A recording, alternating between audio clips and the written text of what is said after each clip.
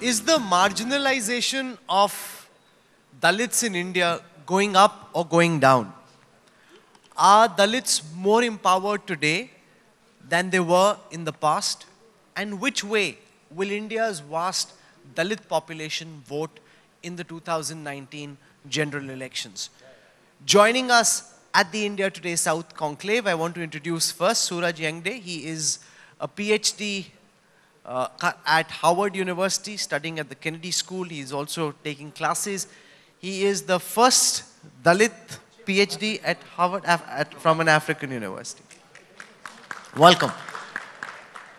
With us also Pallam Raju, senior Congress leader, and Krishna Sagar Rao. Because I want to start by asking Suraj about whether you feel that the condition of Dalits in India is getting better is their marginalization decreasing or is their situation getting worse?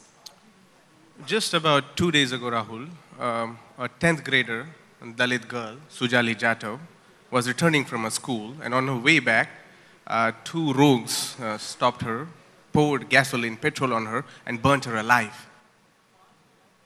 Again, a day ago in Beed, a Dalit boy and a non-Dalit girl were in relationship and married, and, she was, and he was hacked to death in broad daylight. If this is indicative of something, uh, we are talking about the retrograde policies and thinking of caste existing in each other's mind who's sitting here, because caste has become a mechanism to endorse one's superiority, and if someone poses a challenge to that, you witness a brutal, violent death. So if and again, since independence, if you look at it, caste has been central to formation of India's republic. Five cabinets, five cabinets, and there was no Adivasis sitting in the Congresses. Three Nehrus, one Shastri, and one Indira Gandhi. There was no Adivasi involved in the cabinet. So this is the kind of a casteism we have inherited, and we continue to, to parade around in everyday circles in our conversations. And caste today has been relegated to one nasty thing of reservation or merit the entire Dalit humanity is not been in concern.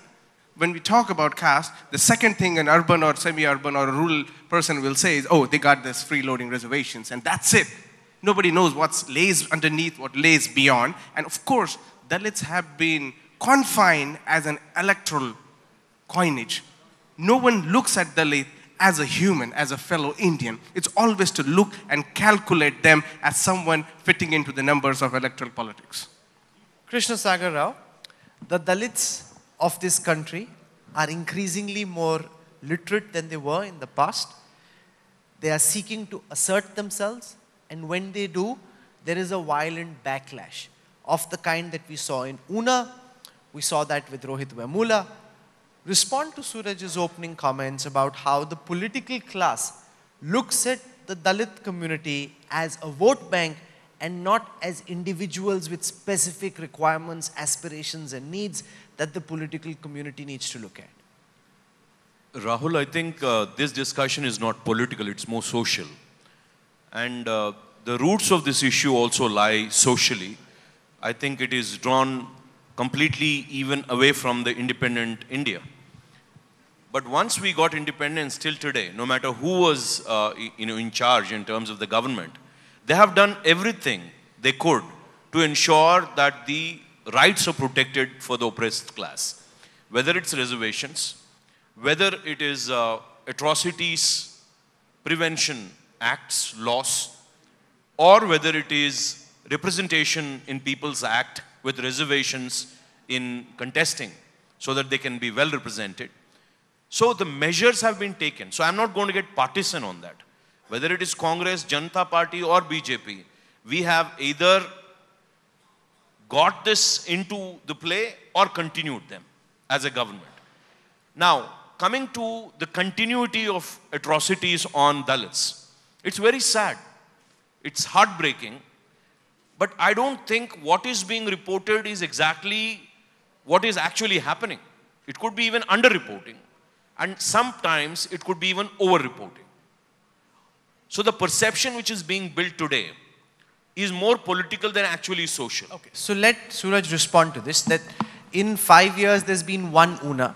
There is one uh, Rohit, Rohit Vemula who committed suicide. And that cannot be held as a reflection of how India is treating its Dalits. The political class will allege that this is being done by vested interests for fulfilling their own needs, catering to the Dalit vote bank, as an example, to feed the factor of marginalization as opposed to looking at how Dalits are more integrated and are better educated and relatively speaking better off than they were. Yes, there is a problem, but you have to see where India and the community is coming from. India carries this shameful guilt, and they should be ashamed of them that they send one Dalit every day to clean your own shit. We can't stare at our own shit for two seconds. Raise your hand, anybody here who can stare at your own shit for more than five seconds. But we have treated our own Indians to get into the sewer so they can clean your shit and so we can live in a very sanitized India. One Dalit dies in sewer every five days. Is that what we are talking about? When we talk about atrocities, these atrocities are mentioned, and he, the gentleman next to me is saying it's been sometimes over presented. If we talk about the social or educational aspects, Narendra Modi government has not released 10,200 crores scholarships meant for scheduled caste students. 2,300 crores scholarship meant for scheduled tribe students. And in addition to that, the reservation that we all parade about, there is no filling of vacancies. The Central University Teachers Association recently, it's in the news, 50% of the seats are not even fulfilled. And when we talk about this, the whole notion of meritocracy has been planted upon them. In addition to this, when we look at the teachers, less than 1%, 0.83 Muslims teacher female Muslim teacher are teaching in our universities or our colleges. Dalit, stu- Dalit, Dalit faculties are close to 5 percentage, Adivasi 2. And when we say this disproportionate, the people who identify themselves as upper caste Hindu, and this is a record of All India Higher, higher, uh, uh higher Education Survey of 2016, 70 percentage of our faculty, 70 is upper caste Hindu. Now, if this is a representative of India, then we are definitely talking about a casteist India which doesn't educate its student. And even in the political as well as media discourses, we don't talk about this. Pallam Raju, this is a very compelling argument I want you to build on that reservation per se, and you've been education minister, means nothing unless you work the back channels to ensure that there are people who are capable of benefiting from that reservation. At the IITs, for example, so many of the seats reserved for scheduled castes go a begging because there is there are very few students who can apply, there are very few who can get through, and there are even fewer who can stay, compete, and last out the whole term. I mean, let me start from the original question and uh, the social issue that we are trying to address. The Dalits have been a community that have been historically oppressed across centuries. And I think uh, once the republic was formed, we did try to rectify the wrongs through various means. And I think it's been the attempt of successive governments. The reality in India today is we live in several layers. And I think there are parts of the country where those historical biases are still there. Manual scavenging still happens. Dalits are still uh, victimized. But I think if you the original point of the question is, are Dalits a better lot today? I would say yes. Because they are much more informed, they are much more organized, they are much more cohesive, they're much more assertive in, uh, in uh, you know, establishing their rights, especially the enlightened lot. But uh, there are uh, biases that still exist in society, and I think they are reflected in various parts of our uh, uh, okay, you know, Suraj, respond to this. I think yeah, Pallam Raju to, makes an important point. No, one second. I want, you, I want him to, whether he accepts or rejects the assertion that given where we are coming from, Dalits are more cohesive, better organized, more empowered, and therefore less marginalized than they have been at any point in time in millennia. See, Mr. Raju's comment is oxymoronic. First, it says that Dalits have made progress, and on the second say there are biases. How do we account to this? Either there has to be a progress without bias, or there has to be bias without progress. It's not a binary. There is relativity involved. I agree with you, Rahul. So when, when, when we engage, let's say when Dalits are being organized, and you know, they have no other option. And what this current or previous political dispensation has done is they have relegated, they have withdrawn the Dalit humanity completely, and they have made a tokenized political class. And because it's a tokenized representation that we see, we have, and it has become a dis- discourse that Dalits have been doing well off. Record says not more than 3 percentage Dalits graduate with a university degree. When we talk about IIMs and IITs, these institutions, for example, IIMs have been made autonomous, meaning the director is the boss, the director is the king, you can take the decision the way you want. And IIM, shamefully, all the IIMs have not admitted any Dalit or Adivasi student into its doctoral program, which is called FPM program. In addition to that, and there's no record to that, and when we look at the faculties, of the 496 whatever faculties, overwhelmingly only 25 to less percentage belong to SC, ST, OBC, which is close to 85 percentage of the population. Pallam Raju, respond to this very powerful argument about tokenism. You know, a Dalit as president, the likes of Suraj will allege is tokenism. A Dalit as minister, people will allege is tokenism. That it is not genuine empowerment because you need to ensure that a message doesn't go out that they're completely out of the power equation. You will find one Dalit and put him in a position of power to send the message to the, to, to the Dalit community that, hey, we are taking care of your needs. It's not genuine empowerment. You're accused, the political class is accused of tokenism. Uh, I will definitely like to concede to that point that there is tokenism in politics, not only to the Dalits, but you know to certain uh, categories of people.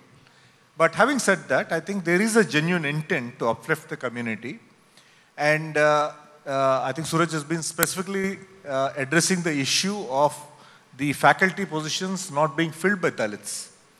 You know, I think Suraj, you must also acknowledge that we live in a competitive society. I'm not saying that there aren't any biases. There certainly are biases across uh, institutions, across uh, strata. But I think when we are talking about institutions like the IITs and IIMs, there is a point beyond which you cannot compromise in the quality of the faculty that you're trying to draw. I'm sure that there are brilliant uh, people in Dalits who are out there, uh, and I think it is a question of finding that match or that person wanting to be a. That's a a good faculty. point. He's been education minister. He says, you can't force me to make, as IIM faculty, someone as professor who's not qualified to teach financial analytics, cost accounting, pick any subject, unless he knows what to teach. Whether he, just because he's Dalit, he can't be given a job. That's why we are saying incorporate them into the system, get them into pipeline, get them into the doctoral programs. And institutions, as a state institutions, have responsibility to go back to the community, try to elevate, and try to target. It- It's not going to happen within 50, 70 years of independence that Dalits who have been outcast and wretched and humiliated and degraded will suddenly one day become the director. We have to follow the procedures. And of course, if you look at the record, if you go to schools and IITs, IITs have been cesspool for the Dalits. IITs have not been encouraging the so-called institutes of national importance, and as a matter of fact, 26,000 plus suicides happen, not only Dalits, but students across within the institutions of higher learning. So if this is any indicative and not necessarily only Dalits, that means education institutes are not empowering students to think creatively. We have a very Brahminic system where the idea, where the professorial staff is not the Dalit, your, uh, your support and mentorship is not Dalit. I was in Gandhinagar recently, and a Dalit is afraid to own him or herself up. They are just afraid. You can be a Brahmin and you can be proud, you can be a Muslim, you can be XYZ, you can still own it up. But No. tell me in public discourse, how many Dalits just could come but, up, but own it let's, let's see, Suraj, what happened when a Dalit got an opportunity to become chief minister of India's biggest state. She went and built statues of herself. That's not something to be proud of. When you get an opportunity of a kind which no one from your community has got for centuries, you go and build your own statues. How is that empowerment? How is that bringing uh, Dalits and members from your community into the pipeline? Rahul, I think she built statues, but she also built four universities. I think the kind of progress that she has done and she has ushered the kind of confidence, I think the development projects done by, for example, Mayawati has not been as focused as much as she holding a purse and building a statue. That one monument, and similar when we talk about the Statue of Unity and you know, the whole Chinese labor being deployed, same argument is not applied here when in fact the labor and the whole project was done with this indigenous labor. And so what I'm saying is we are still casteist in our own approach where we try to find loopholes. There is one crack, there is one fissure, and then that's it. That's the representative of everything. Rest of the work, which could be a swath of ocean, is not being discussed as positive. When Mayawati builds her own statue, it is a problem. When the BJP spends 2,800 crores buying a statue, building a statue, mostly made in China, then it becomes a big problem. Say you're comparing apples and oranges because uh, Statue of Unity is an icon and uh, building your own statue while you're alive is a different story altogether. Now, my friend here, Suraj, I don't know No, where but you must respond to this, Suraj. Mayawati building her own statue cannot be compared with Modi building a statue of Sardar Patel.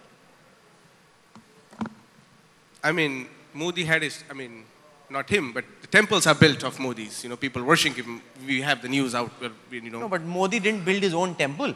right. So Mayawati built her own statue and So- spent hundreds of crores doing so. The point is, when we talk, and we have to look at this also in women empowerment, first of all. She is a Dalit woman, and Dalit woman is the most wretched and degraded being. You know, a statue of a Dalit woman being paraded openly is just not is just not sitting in the conscience. This Dalit woman is actually, if not her, is being raped, is being is been undergoing torturous regime. And, and many Dalits have said this as well, Krishna Sagar Rao, that having Mayawati statue there is a sign of empowerment. You know, if there had been other Dalit women before her, you could have said, okay, why didn't she build a statue of somebody else? But who else is the one Dalit woman she could have built a statue of? And many in the Dalit community think of that statue as a sign of empowerment. In the heart of Lucknow, in the capital of India's biggest political state, you've got a statue of a Dalit woman. That by itself is empowerment. I really wish the people of Uttar Pradesh could have built the statue of uh, Mayawati instead of she building with public money. Keeping that aside, the rationale behind Suresh's argument falls flat because he's trying to defend even the indefensible. He is not even saying that that's wrong to do with the public money and then go on with the Dalit cause. So what happens here is you're trying to justify things just for being acrimonious, being angry. Your angry needs to be justified. It should not be misplaced. I completely understand This is the a good anger. point, and we and we saw this very recently in uh, Agenda Aaj Tak, which we had in the capital this this week itself, where we had this young man Chandra Shekhar Azad. He's now dropped Ravan from his name. He just seemed like a very angry young man, and the BJP spokesperson has a point that the anger needs to be channelized. You know, you can't just be angry because I'm angry. That anger needs to be channelized. And while he was very angry, how channelized was that young Dalit's anger? It depends on how we define anger. Is anger spewing hatred? Is anger divisive? Or is it an anger of sympathy and empathy? Is it an anger that is extension of a love? It's a caring love that we see through this anger. And anger is not necessarily negative when it comes from the oppressed person. It is an anger, it is an anguish that is convincing, that is trying to make its case. And if you're not going to listen us, our anger is going to come out. Take it or leave it. You're going to see it either on streets, or either on uh, either of the spaces which are occupied. Krishna Sagara, when you dictate dietary choices, when you impede economic imperatives of the Dalit community, when you tell them what to eat and what not to eat, you are pushing that anger. You are, you are foisting upper caste dietary choices on India's Dalit community. If at all you're talking about uh, anti-cow slaughter laws, it is not we who have made the 1964, it is the Congress which has brought in the anti-cow slaughter laws. But we will be, uh, you know, stoned for it. And Mr. Suraj will not take two words to do that. Uh, see, Mr. Suraj today speaks so eloquently and so graciously, with anger, of course, and the anger is justified. But how did he come here? I don't know where he studied, but if he's saying that Dalits didn't get empowered, now he's a he's a symbolism of Indian Dalit empowered. But he- now I, I think that's a facile argument. He just told you 3% of the Dalits managed what? to complete education. No, that is why I'm the saying- Ambedkar went abroad and studied way back in uh, the early part of the last century. No, it's all right. I'm, I'm not saying all of them No, are you can't say empowered. just because he's educated, I'm- he's at Harvard, and Rahul, therefore what about any? Rahul, what I'm saying is don't completely strike down the patience, persistence, and what the Indian nationals have allowed the affirmative action to stay. We did not question an Krishna Sagar Rao, I'm sure everyone sitting here would have noticed when he doesn't like a question, he just sidesteps it and pretends he didn't uh, hear it and answers a completely different question. mean, the question is, one second, I'm why is the ruling dispensation foisting upper caste dietary choices on India's Dalit community? We didn't. That's the answer. We didn't and we never will. But I am telling you once again, this country has been behind the affirmative action without being time bound. We never questioned the timing of reservations or timeline I- I of must ask this reservations. This entire nation Baba has Saheb standing beside Ambedkar Dalit brothers. envisioned and we, reservation. we want the them idea, to be empowered. The idea was that this would be time bound, possibly for a decade. You empower Dalits and then you end reservation. you know, I'm sure a majority of the audience uh, sitting here in Vizag is upper caste. And I'm also certain that most people watching would be upper castes. And all of them would say, how long would reservation last? You know, this can't be done permanently. And while it is absolutely correct that, uh, you know, we want to empower Dalits, upper caste meritorious students will think that this is very unfair to them. As a PhD fellow, how long do you think we should continue with reservation? For as long as untouchability exists in this country. In Delhi alone, there was a survey done, and in UP also, close to 60 percentage women and men folk acknowledge that we freely practice untouchability. 39 percentage What said, survey are you talking about? 60% of Delhi this, think- is, this is an economic and political weekly. 39 percentage of them said, some of people we know. That's a publication. What sur- survey is this? The- the- EPW is a publication. Yes, and in, in that, the survey was done by uh, three scholars, which is available on the internet. As long as untouchability exists, I, I as find long that as a bit bizarre. 60% of Delhi is telling you they believe in untouchability. you just look up. I'm, I'm just not making this up. I can provide citations and all. Well, let's keep that si- this argument for the side for the fact check. How long will the reservation last? For as long the caste system exists in this country. Tomorrow, make a project of elimination of caste system. Make sure that the, the people who are How, being how do we do that? How Yes. do we eliminate the caste system? First, of, I mean, Ambedkar has indoctrinated that into annihilation of caste and mentioned that where the sources of castes, from where the caste emerges, has to be dismantled. Because here, the ideas of Shastras have been so sacrilegious that people are afraid to even take a call that this could be something we should acknowledge and work towards it. And by the way, Ambedkar did not envision it for a decade. It's, it's very mis- misinformed. I had posted it that he was, he was of the same argument that the, the, uh, the reservation should continue for as long as the people are still not empowered, right? What that means is still we are unhappy with No, some but why should, of one, Dalit. one, one, one second, one second. Why should, this, why should your son get into St. Stephen's or SRCC because he's a Dalit? If you've been to Harvard, he has absolutely no business. If he gets through because he's your son and he's cracked the exam and got the numbers, absolutely by all means. But right now, and 20, 30, 40 years later, I don't know if you have a son, so I don't want to uh, comment on that. But how is that fair? Why, he still gets car, he still gets the benefits of reservation. I think, Rahul, again, this goes to the very grain of escapade, meaning the people that we see around us becomes a representative of the entire reservation system. Meaning, if we have seen, let's say, the, the privileged Dalits, or, or, you know, which is, by the way, very extreme mini minority, and there, and, and by the reservation is not an economic upliftment program, it's, it's, it's actually a social empowerment program. And when it comes to social empowerment, we still have discrimination persisting in the society. That aside, Now you're not answering my question. My I'm- question is very simple. Why should your son get into a top educational institute just because he's Dalit?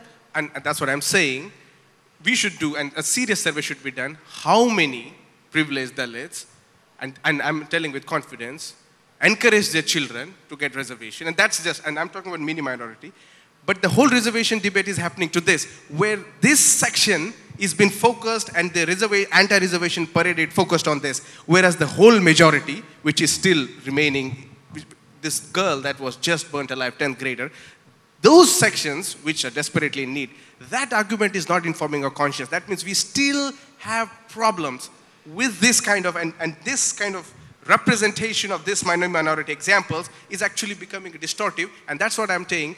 The Dalit is not a monolithic whole, right?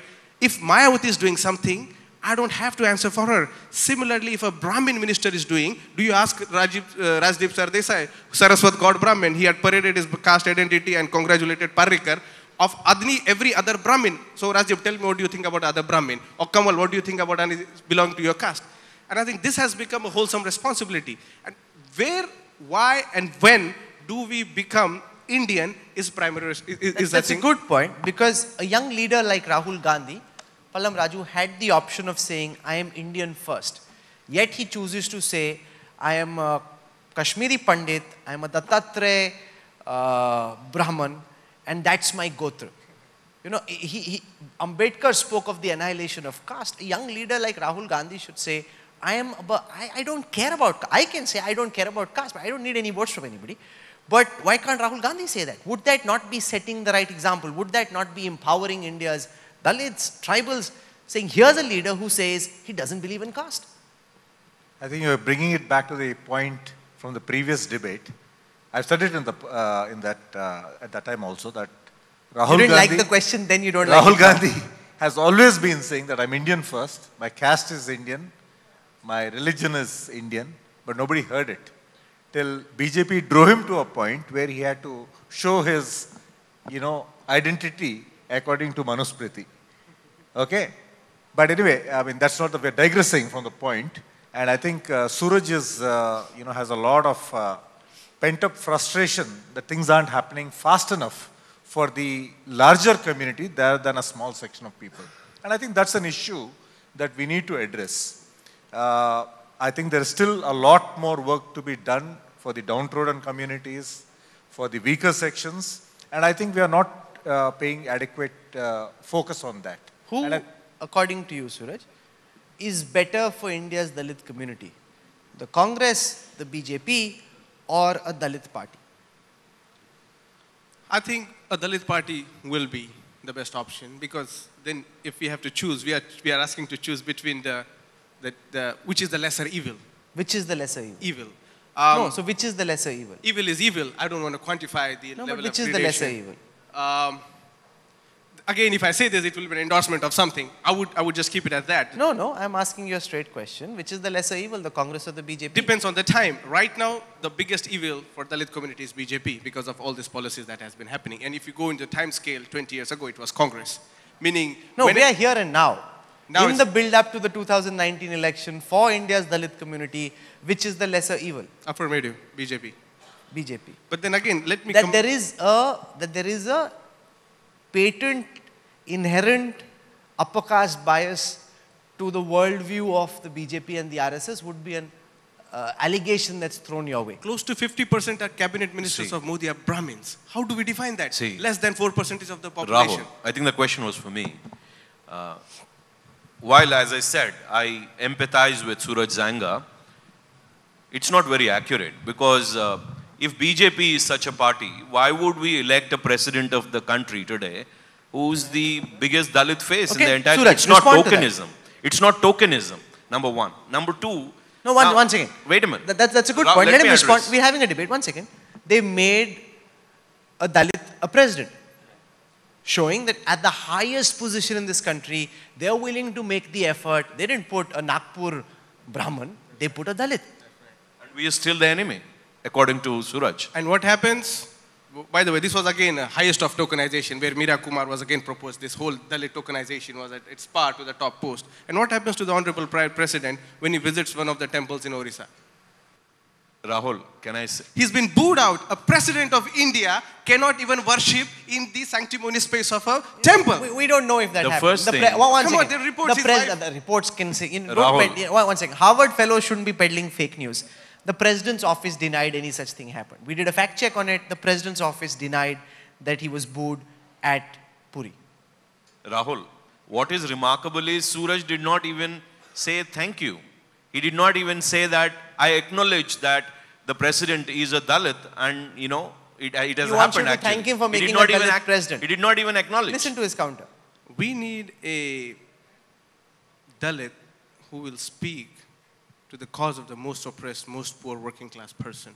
We don't need a tokenized Dalit to be represented and slapped on our President of India is a we token? need a Dalit who will usher the voice of the most depressed from the community, who will give a statement when Sujali is being burnt alive two days ago, who will take a statement stand against this very Brahminical system that he's been opting into. If that is the Dalit we put into, my first thanks See, goes to him. uh, Rahul, the hypocrisy here and the double talk here is on one end he says he wants to end casteism, and the other he continues to protect his clan, and he wants to be completely uh, isolated but that's a very mainstream. upper caste way of looking at it. He just told you, don't think of Dalits as a monolith.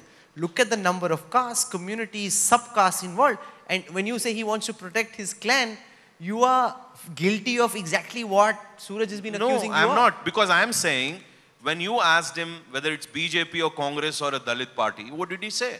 Why I'm saying it is when your macro identity is Indian and when you want to demolish the caste, if it were for us, Rahul, I'm saying it right on this platform. If it were for us and if we have the ability to do it constitutionally, I don't know, we would ban the caste. This is BJP. We would ban the caste. Now let him say that once the ban the caste, then he would say that all of us are together. You know, Krishna Sagar Rao, be careful about what you say. I'm saying Because it. the last person who said it was I am Mohan Bhagwat it. and we saw what happened in the Bihar It doesn't matter. after that. This is BJP. BJP believes the macro identity is Indian.